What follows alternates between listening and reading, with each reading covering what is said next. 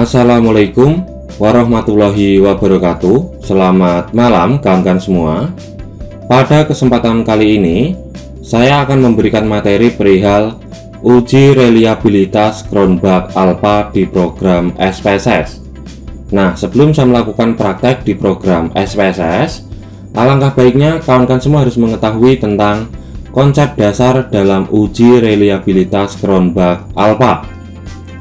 Uji reliabilitas bertujuan untuk mengetahui tingkat konsistensi angket kuesioner, sehingga angket kuesioner tersebut dapat dihandalkan. Meskipun penelitian dilakukan berulang kali menggunakan angket kuesioner yang sama dengan waktu yang berbeda. Angket kuesioner penelitian dikatakan baik dan berkualitas apabila sudah terbukti validitas dan reliabilitasnya. Nah, dalam pengujian reliabilitas, metode yang umum digunakan oleh peneliti yaitu metode Kronbach Alpha. Dan langsung saja, saya akan menuju ke program SPSS. Nah, di sini saya menggunakan SPSS versi 23. Dan untuk datanya, Data ini saya peroleh dari penyebaran angket kuesioner kepada 50 responden dengan jumlah item sebanyak 8 item. Oke, langsung saja saya akan melakukan analisis uji reliabilitas Kronbach Alpha.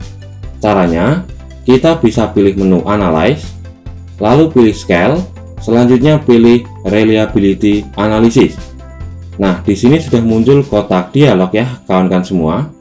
Masukkan seluruh item ke kolom sebelah kanan, lalu pilih OK. Nah, di sini sudah muncul output uji reliabilitas Kronbach Alpha. Nah, sebelum kita melakukan interpretasi pada output uji reliabilitas Kronbach Alpha, alangkah baiknya kita harus mengetahui tentang Kriteria pengujian dalam uji reliabilitas Kronbach Alpha Jika nilai Kronbach Alpha lebih besar dari 0,70 maka berkesimpulan instrumen penelitian dinyatakan reliable. Dan jika nilai Kronbach Alpha kurang dari 0,70 maka berkesimpulan instrumen penelitian dinyatakan tidak reliable.